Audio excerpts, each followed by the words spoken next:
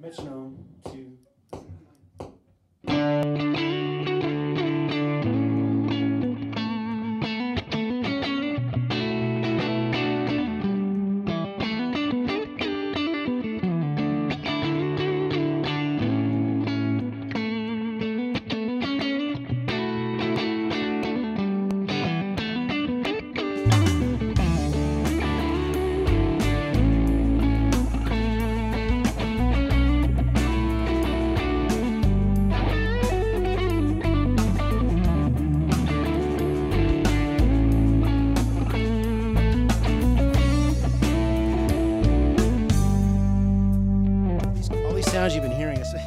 on the on the neck pickup, which is called a cruiser.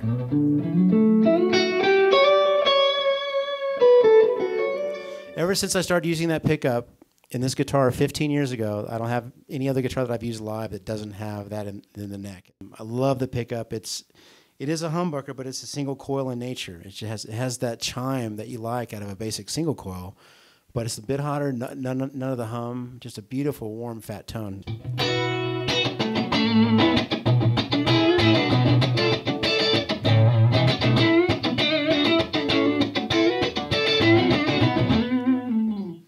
It's been my go-to neck pickup for many years. Uh, I just dropped a brand new AT1 DiMarzio pickup in this guitar today. I say I. Listen to me taking all the credit, Jerry. Jerry actually put this pickup in. It was in the guitar that I used on the Resolution CD. The whole Resolution record is basically that AT1 pickup.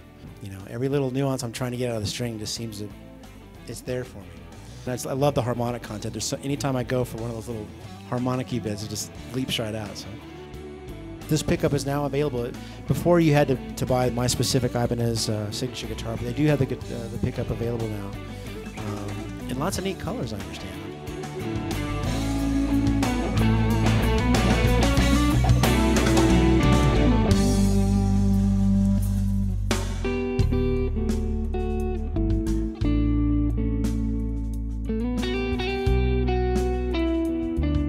People are able to get access. They hear what's going on. They say, "What what pickups are you using?" You got the DiMarzio pickups. You've got the the Mesa amps. You've got the Xotic uh, pedal, and uh, these are all things that do add up.